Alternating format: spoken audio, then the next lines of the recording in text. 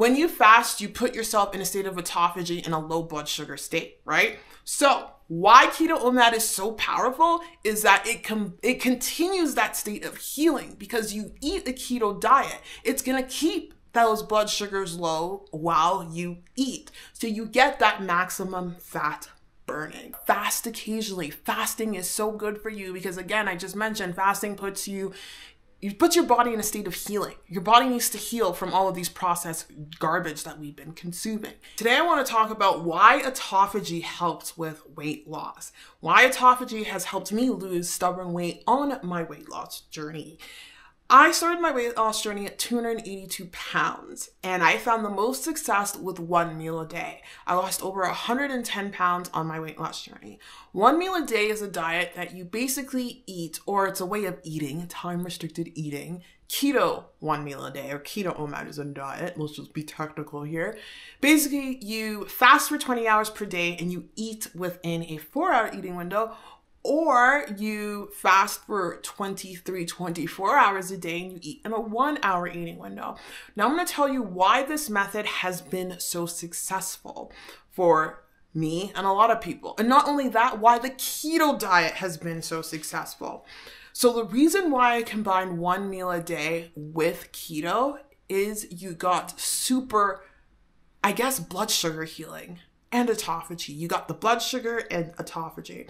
So when you fast, fasting is the fastest way to bring your blood sugar levels to a low level. Why do we want to do this? When we have spikes in blood sugar, we basically put our body in a situation where it's going to have too much glucose, where it's going to store that glucose as fat. Our mitochondria is an organelle within our cells that is responsible for converting glucose into ATP, which is energy.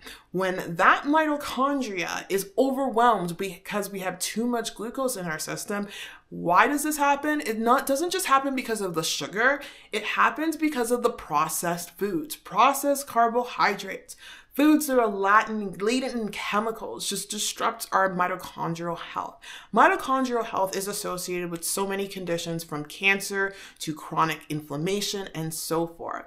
So Basically, when you put yourself in a situation of fasting, it allows your mitochondria to recover and it puts you into a state of autophagy. Autophagy is so important in this day and age because, as you know, our food is littered with so many toxins. Roundup is Agent Orange, pretty much, which is what was used as warfare chemicals back in the 1970s. Our food is laden with all these dyes, all of these chemical preservatives that have been linked to cancer, that have been linked to obesity. They're literally called obesogens. And fasting helps us combat these obesogens.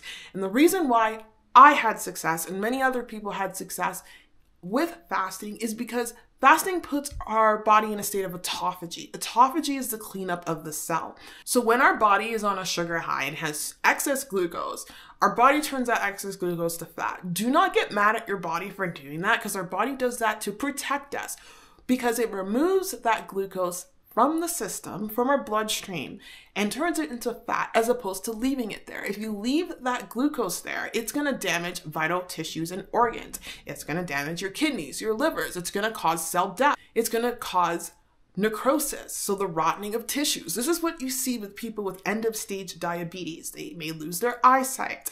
They may have neuropathy. So that's issues with the brain. Alzheimer's is type 3 diabetes. So the fact that our body stores the glucose as fat is protecting our body, our, ourselves, and it's giving our body a little bit more time to, you know, I guess not get to the inevitable early death. That's what we don't want. So when we put ourselves in a state of autophagy, a process called mitophagy happens. Mitophagy is basically a form of autophagy where our body basically gets rid of damaged mitochondria. When we get rid of damaged mitochondria, we help our body heal because damaged mitochondria causes a positive feedback loop of basically reactive oxygen species. And reactive oxygen species are something that happens when we have too much glucose in our mitochondria. Our mitochondria get stressed. It stresses out the electron transport chain, which is a part of cellular respiration, so basically turning glucose into energy.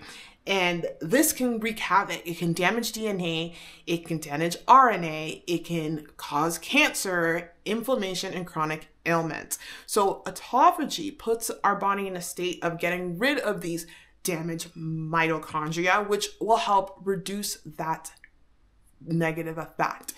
And I love how when it comes to weight loss now, I think it's easy when people focus on bringing the blood sugar levels down because remember, blood sugar spikes causes the body to secrete insulin. It makes our pancreas secrete insulin. Insulin is a fat storage hormone, remember that.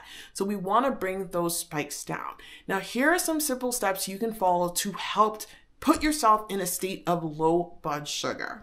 Things to do and things to avoid. Number one, you want to eat foods that are natural. I will harp this until the day I die. Eat natural foods. You don't want to eat foods that are ridden in chemicals. So avoid things boxed foods. Eat whole foods. Eat frozen vegetables. If you're having struggles getting in vegetables, go frozen. Look at the ingredient list. Educate yourself. The first five ingredients are, or the first, so basically with the ingredient list, the closer it is to the beginning, the more of that product is in there. So let's, for example, in one ingredient list, something says glucose. That means that ingredient has a lot of glucose in it. Or if glucose is one of, or fructose is one of the first five ingredients. The closer it is to the end, the less it has in it. So just keep that in mind. So you want to have foods with not a long ingredient list to begin with, but if it does, please make sure that at the beginning of the list are things that you can pronounce and things that are natural. You want to focus on eating foods with less in, of a long, lengthy ingredient list because these things that have long ingredient lists have a lot of toxins. And when these toxins enter our body, it's going to make us very difficult to lose weight. It's going to keep our system out of whack. It's going to make us sluggish. It's going to make us tired. It's going to make our body hold on to fat. Did you know that a lot of these obesogens, so these are the, the things in foods, the chemical pie that is um, in our food. So things that don't make sense, things that are these long chemical names, and you're like, what the hell? Obesogens tell our stem cells. So the stem cells are the cells in our body that it's the universal cells. So it can turn any into any cell. A stem cell can turn into a muscle cell. It can turn, for example, I'm just using an example here. It can turn into a, you know a lymphocyte, a, a cell that's a part of our immune system, a white blood cell obesogens tell our stem cells to turn into fat cells. So it even makes that feedback loop 10 times worse. So this is why it's so important to not eat these foods with toxic ingredients. Number two, eat a diet high in fat and protein. Prioritize protein. Yes, protein does spike your glucose levels more than fat. However, protein is so important for repair. Protein's part of everything especially for weight loss. You want to be eating foods high in protein for a number of reasons. It keeps you satiated. Protein is made out of everything. Protein is going to help you build muscle. Fat is going to help curb down that glucose level. The only way that protein can spike your glucose level is that if you put yourself in a if you're trying to focus on being keto and then you eat too much protein, you go into gluconeogenesis where that protein turns into glucose, that's fine. Don't worry about that because that's our body turning protein into glucose, and that energy pathway has a lot of energy being involved. So you're burning a lot of calories in, when you do that. So just don't worry about that. Focus on getting in your fats and your protein.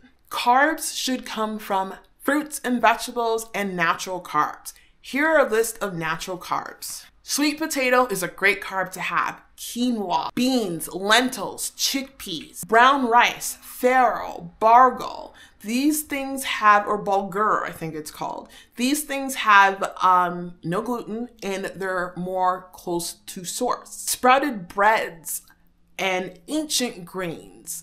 These carbs are more likely to not cause, or they will not cause you to have these adverse effects that processed carbohydrates do as opposed to these carbs white bread, white rice, um, anything deep fried, all the good stuff, pizza, um, processed flour, you know, all that stuff is going to wreak havoc on your system. So focus on nature's carbs. Those are some good nature's carbs. I mentioned sweet potato is awesome, quinoa is awesome because it's high in fiber. Obviously, fruits and vegetables, you can't go wrong with that. Number four, fast occasionally. Fasting is so good for you because, again, I just mentioned fasting puts you you put your body in a state of healing. Your body needs to heal from all of these processed garbage that we've been consuming. So put your body in a state of fasting. If you can't do prolonged fast, do 16-8. Do 18-6. Do an OMAD here or there. Throw yourself in a state of fasting to give your body a chance to repair. The longer you fast, the more better it is going to be for you, especially if you're dealing with really resistant weight loss or if you're dealing with morbid obesity. Throw in some 72 hour fasts in there because you need to get some deep healing. Food order hack. This is the way to eat in a way that does not spike your blood sugar. So, have a shot of vinegar, apple cider vinegar, before you eat. Or if you're not going to do that, eat your fruits and vegetables first. Get in your fiber. Feed the gut microbiome first. Then from there, have your fats and proteins. Then have your carbs. This will lower the blood sugar spike. Anyway, I hope this made sense.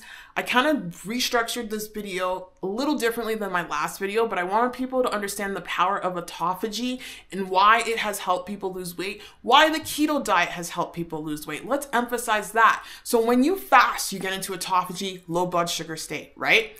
Keto oh OMAD. That's what I did. When you fast, you put yourself in a state of autophagy in a low blood sugar state, right? So why keto oh OMAD is so powerful is that it com- it continues that state of healing because you eat a keto diet. It's gonna keep those blood sugars low while you eat. So you get that maximum fat burning.